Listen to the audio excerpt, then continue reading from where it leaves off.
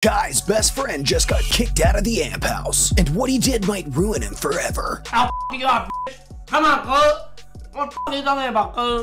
Ray Asian has been stirring up some trouble for a while now, but he just managed to piss off the only person who's had his back from the beginning. But he has no more respect. All because he took his jokes too far. What started off as harmless banter and Ray just messing around quickly turned into a heated fight when Ray became a little too disrespectful, blowing up a fire extinguisher in the middle of the house during a live stream despite Kai telling him not to. No! Ray, if you do, I swear to God, Ray, if you do that, I'm gonna be tight. Kai went ballistic, but no one expected that he would throw Ray out for this. After all, the two are like brothers. Yet Kai claims he's had enough. The fame is getting to his head. Like it's actually this is no longer Ray. I'm not, bro. I'm not mean. He definitely he does change, bro. So, are their days of brotherhood really coming to an end here? And is Ray really joining the military? This isn't the first time Ray has made headlines for his problematic behavior. Call me, Kai. Yeah. He's even had to apologize in the past for his racist remarks, which nearly got him canceled. You're a monkey. Not to mention all the other bizarre things coming out of his mouth. He's known for being extremely immature.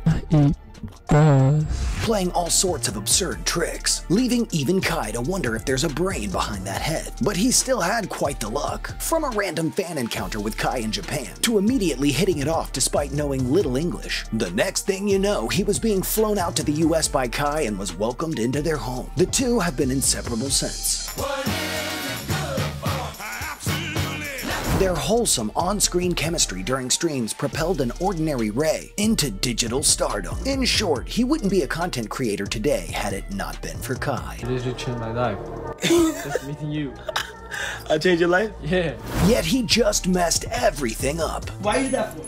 Girl, it does. And he still acts like the victim, but it's clear who the real problem is. Yo, Ray, you want the Yeah. What type of you want? Any type. If they do good, I'll. Without Kai to cling on to, Ray is pretty much a nobody. Looks like his only choice left is to go and serve in the military, as he previously told Kai he'll be doing. 100% I need to go to military, bro. Although he's trying to stay relevant after being kicked out of the amp house, he moved into the FaZe House hoping to find a new group of friends in the world of streaming. But he's now wreaking havoc there, cause fights between him and the members are creating unnecessary drama. Ray, I'm that.